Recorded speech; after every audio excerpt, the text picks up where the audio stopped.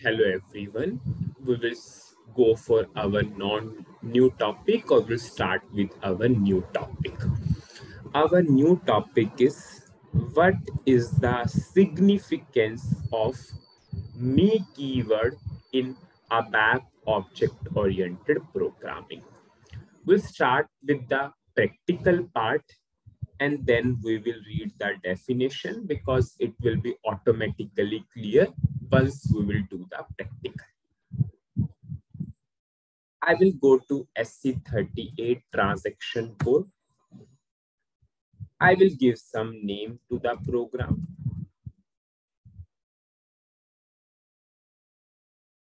I'll click on create button. Okay, suppose I will give the title to understand the significance of me keyword.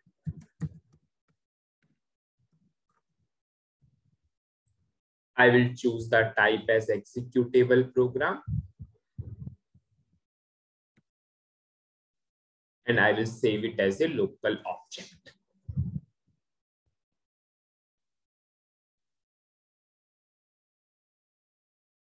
Now suppose I will create a class, suppose class, class one definition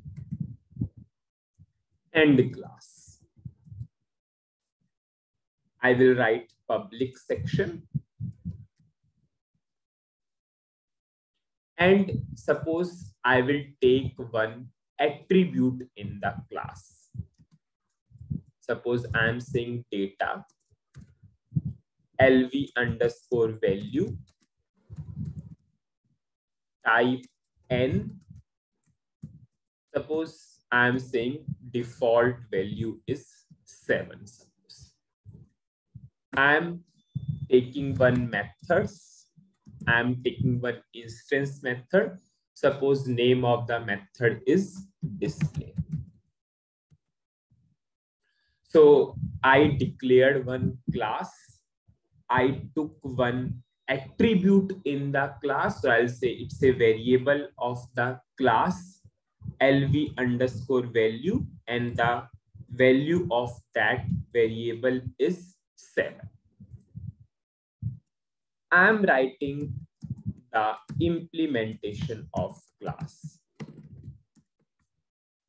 Class class 1 implementation. End class. Now I will write method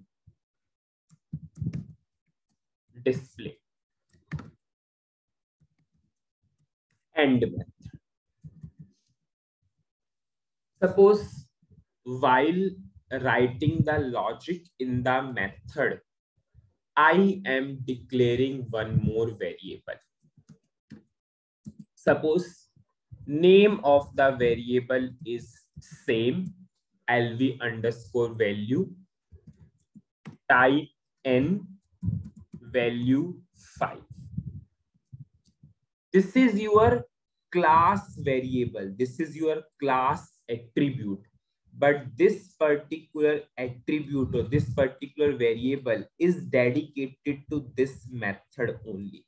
This method only. Now suppose i am writing write lv underscore value. I'm checking the syntax and i'm activating the program. So what we did?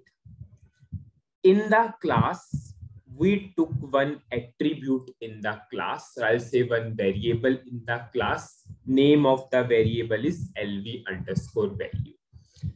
While doing the implementation, and in that particular method, I took one variable which is dedicated to this method only. This particular variable is dedicated to this method. But it has the same name which we gave while declaring a variable for the class itself. Now, I will call this method and we will understand. Start of selection is as it is the instance method. So we have to call this method with the help of object hello underscore object type ref to my class name.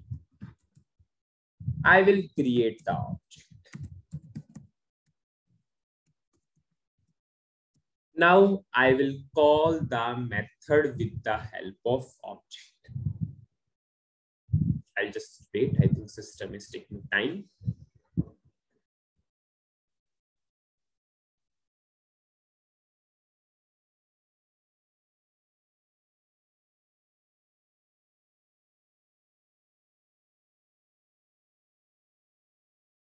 Now, with the help of object, I will call the method display. I'm checking the syntax and I'm activating the program. Now, now what will be the output and that will give the answer of our topic. Suppose I'm putting a breakpoint here. I will run this program.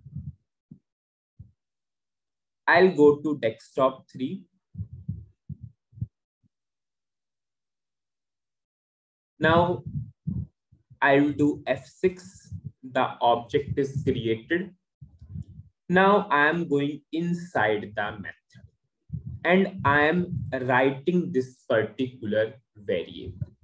And if I'm executing this, the output is coming as five.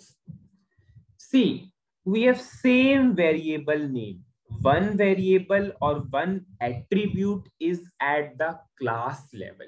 It is at the class level.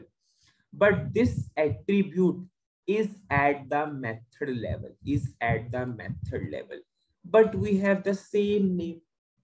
Now the question comes, if I want to display the value 7 how I will display, how I will display.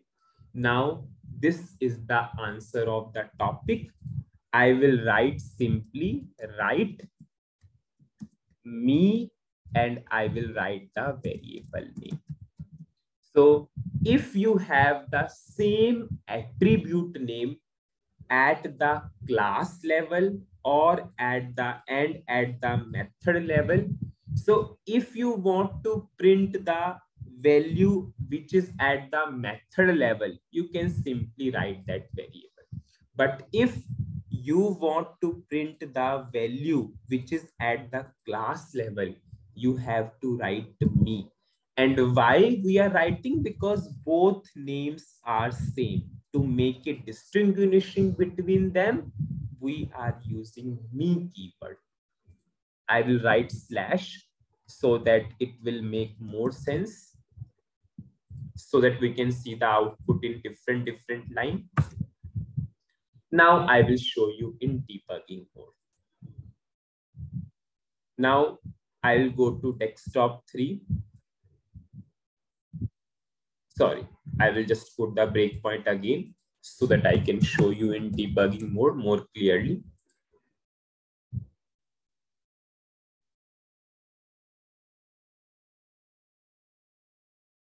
I'll go to the program again.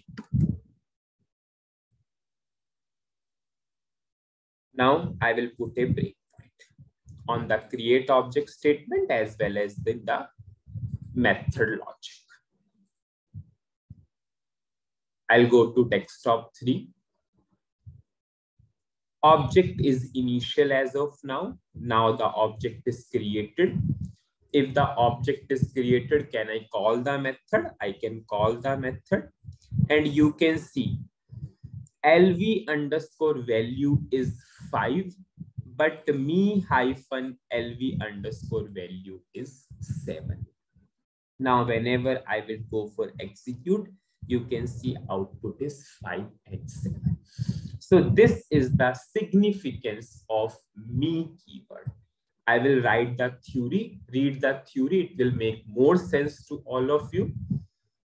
A method can have a variable defined with the same name as one of the attribute of the class. A method can have a variable name. A method can have a variable which has the same name as that of class attribute. In that case, to clearly identify the class level attribute, to clearly identify the class level attribute, we are using me. So this is the significance of me keyword. So whenever you have the same name at the class level, and if you are going for declaring some variable inside a method of the class, so in that case, to clearly identify the class level attribute, the keyword me is used. That's it in this video. We'll continue the next topic in the upcoming videos. Thank you.